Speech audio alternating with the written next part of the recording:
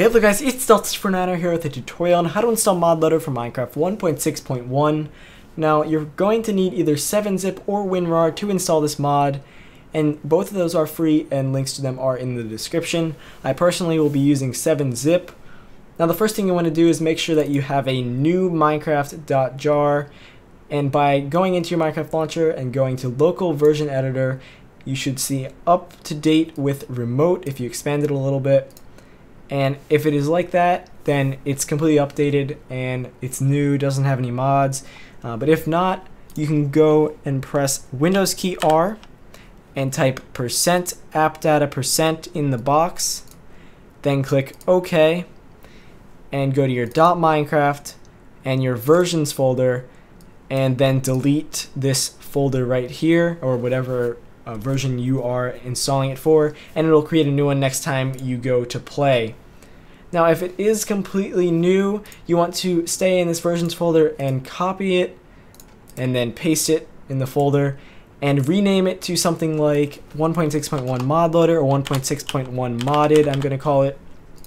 And whatever you name that, you need to copy that name and go into the folder and rename the executable jar the same thing and also the JSON file the same thing. So they're all 1.6.1 and whatever you uh, called it. So for me, it's modded. The next thing you want to do is you want to open your 1.6.1 modded file in a text editor. And if you don't have the ability to open it in Notepad, then you can go to your start menu and open Notepad manually.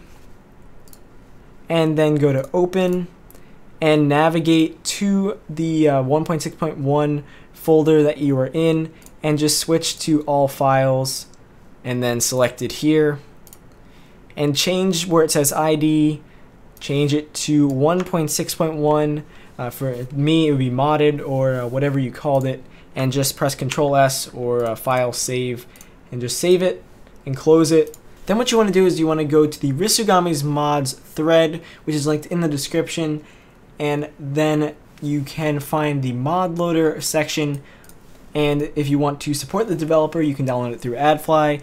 And for the sake of the tutorial I'm going to download it directly and then save it on your desktop. Now I have it on my desktop here and you want to right click it click extract all. Make sure show extracted files when complete is checked and click extract and then you have that folder open.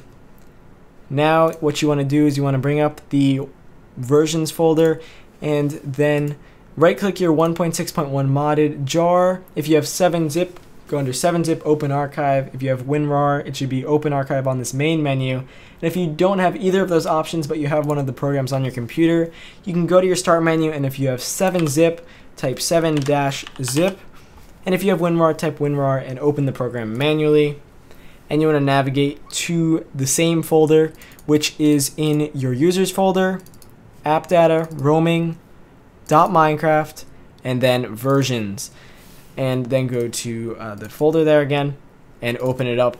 And you'll see you have uh, many files here. And you want to delete the meta inf folder. And then bring up your mod loader folder and select all of the files using Control A on your keyboard or selecting them all manually and dragging them all into the white space in the Minecraft jar here and then closing the jar. You want to then go into your launcher and uh, just restart it and just close it there. Open it up again. And you can either create a new profile and select the jar, or for the sake of the tutorial, I'm just going to change the jar to release 1.6.1 modded, save the profile, log in, and there you go. Now you'll know it has worked and installed when you have a mods folder in that uh, folder that you have the jar in because uh, it'll just create it and that is where you will be able to put your mods. Now it is mod specific but mostly uh, they go in here as a zip folder. Uh, but of course if you have any questions you can leave those in the comments below and do make sure that the mods you are installing that require mod loader are updated for Minecraft 1.6.1 and uh, yeah if you have any troubles I will be glad to help you out in the comments below And of course, if you did find this helpful, a like and a favorite would be greatly appreciated. And also, if you're new to the channel and you do enjoy daily gaming tutorials and reviews, make sure you subscribe. Thanks for watching.